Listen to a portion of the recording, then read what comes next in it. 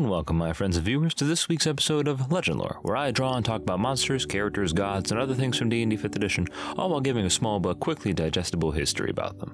Together we'll go over their origins within the game, how they're utilized in the modern edition, and how you guys can utilize them in your own games. This week we're going to be going over the Wizard, the most expensive class in the entirety of Dungeons & Dragons, even more so than the Artificer, which is a little bit concerning. Getting right into it, Wizards have a 1d6 hit dice, have proficiency in intelligence and wisdom saving throws, and in the use of weapons such as daggers, darts, slings, quarterstaffs, and light crossbows. They can also choose to be proficient in two of the following skills, that being the lore important stuff such as Arcana, History, Insight, Investigation, medicine, and religion. Starting at level 1, the wizard gets access to the Arcane Recovery and Spellcasting class abilities.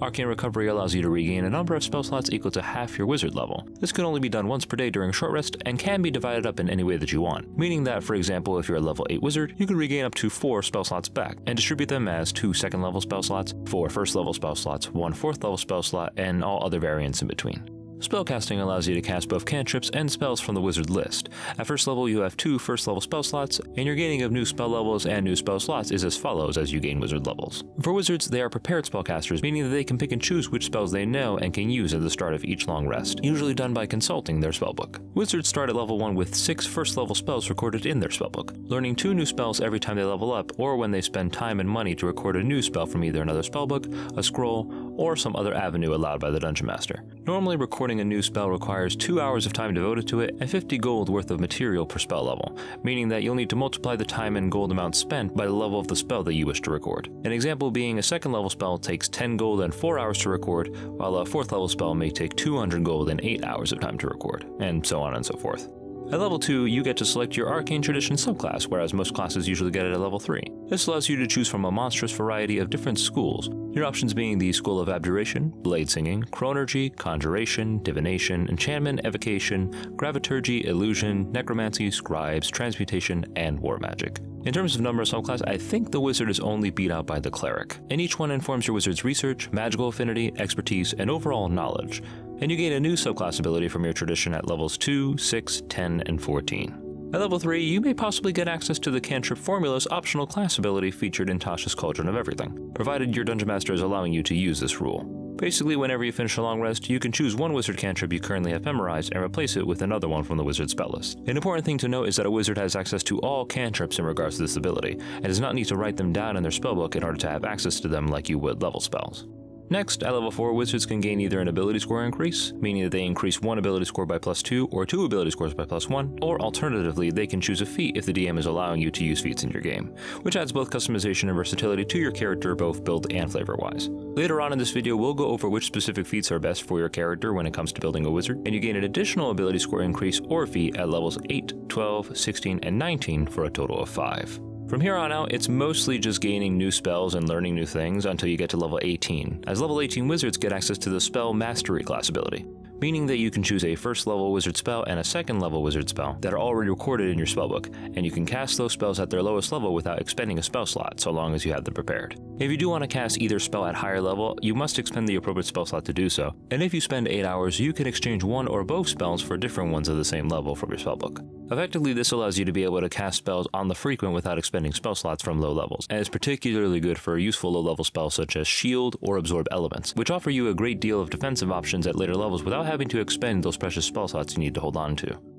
And then finally, at level 20, you get Signature Spells, which allows you to choose two third level spells from your spellbook and count them as your signature spells. What this effectively means is that you always have these spells prepared, they don't count against your number of spells that you have prepared in your spellbook, and you can cast each of them at third level without expending a spell slot once per short or long rest. If you wish to cast a spell at higher levels, you do still need to spend the spell slot as usual. When it comes down to it, this is just an empowered version of the earlier spell mastery ability, but does suffer a bit from the problem in that it won't really be used at later levels. Most wizards at 20th level are focusing on spells from 6th level and higher, so a single third level spell that you can use without a long rest is a little iffy for me. With all that out of the way, here are a few of the various Arcane Tradition subclasses for the Wizard, all of which can be found in the Player's Handbook, Explorer's Guide to Wildemount, and Tasha's Cauldron of Everything.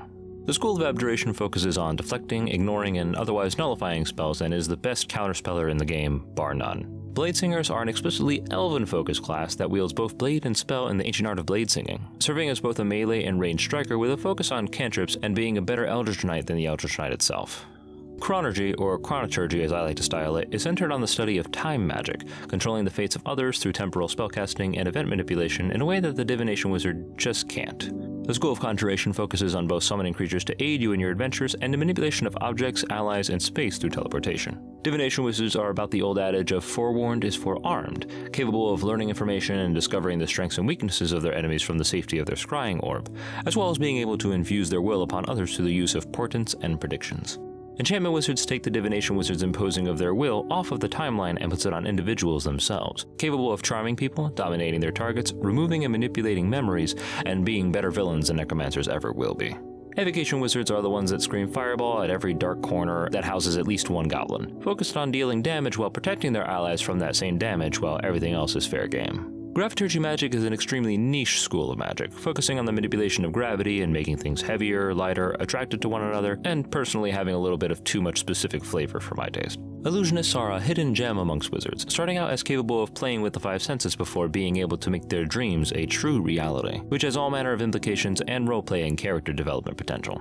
Necromancers have kill stealing mechanically built into their class, retaining HP upon reducing enemies to zero, and eventually being able to control undead creatures rather than being forced to kill them. Order of Scribes wizards have some of the most flavorful abilities out of any of the wizard subclasses, in my opinion, being armed with a magical quill and an awakened sentient spellbook that eventually becomes a printing press for magical scrolls. Transmutation wizards are the alchemists of the wizard subclasses, focused on changing things into other things, getting a free polymorph, and getting a do-it-all Swiss Army stone that keeps you ageless, free of disease, and able to resurrect your allies upon its breaking. That stone is only acquired at high level though, so don't go replacing your cleric just yet.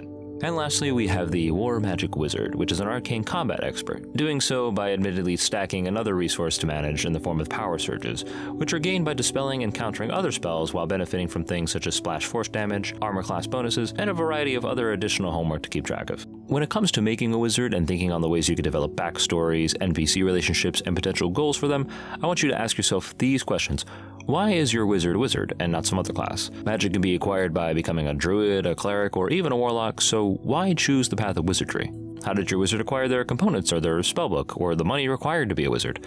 Are they a noble? Did they lie, cheat, and steal to get where they are? Do they have a patron who expects them to eventually use their new skills to serve their interest? And finally, why does your wizard study the school they have chosen? And why do they view it necessary to study and practice that specific school of magic? Why would a necromancer risk being denounced and burned at the stake? Why would a chronurgy time wizard wish to master and turn back time? Try to think of these beyond just your subclass's mechanics and figure out what kind of problems your chosen school can provide the solutions for, as well as what goals they intend to accomplish using their newly acquired magic.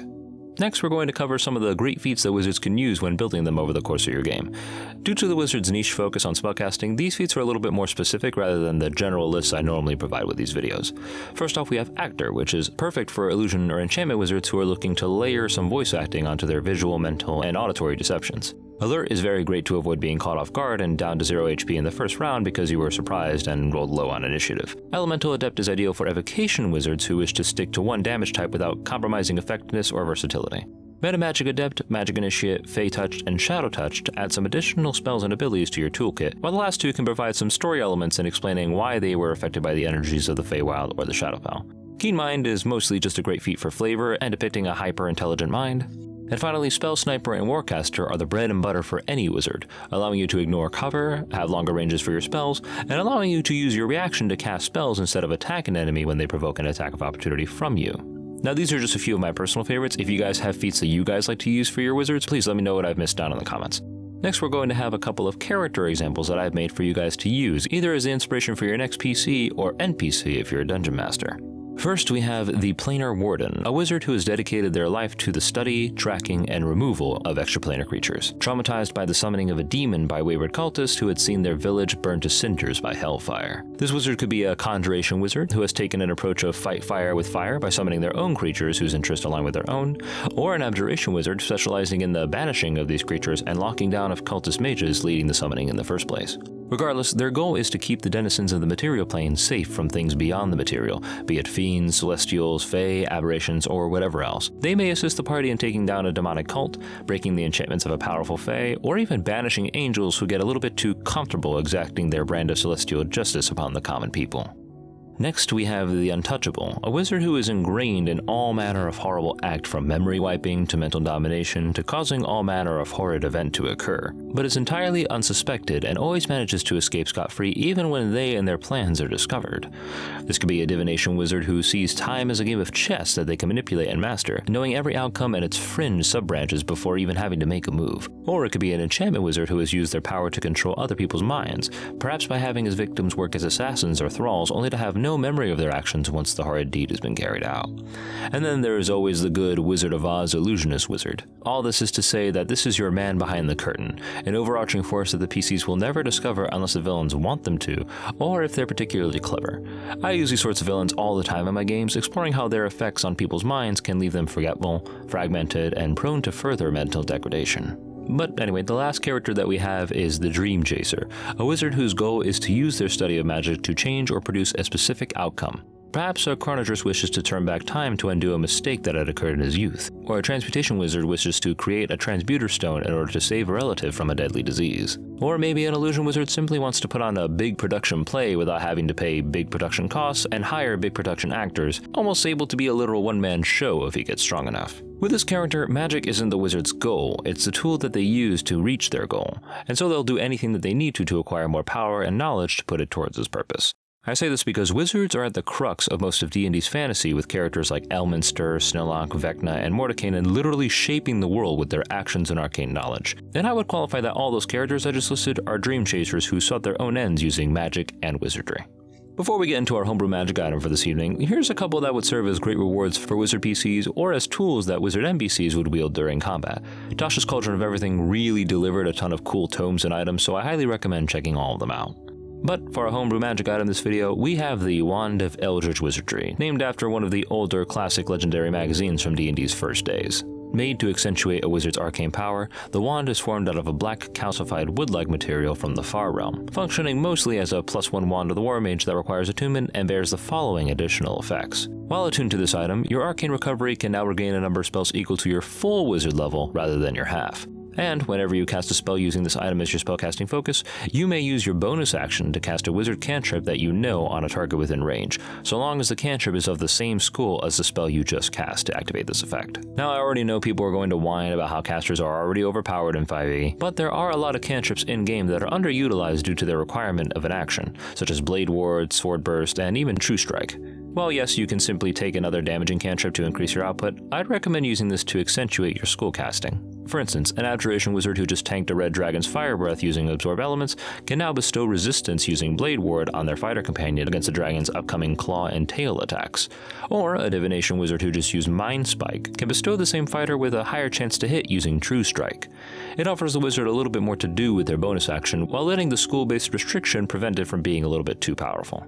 I've included the item stat block in the description below, and that's the wizard class, everybody. I want to thank all of you guys for watching, and if you guys enjoyed the video, please like, share, subscribe, and press the little bell icon to be updated on future videos, and also let me know about your guys' wizard characters or experiences with wizards in the comment section below. What's your favorite subclass? What's your favorite wizard item? What's your favorite classic D&D wizard character? And if you guys want to vote on the subject of the next video, you can follow the link in the description to do so and cast your vote in the polls. And also let me know what you guys would like to see in upcoming videos.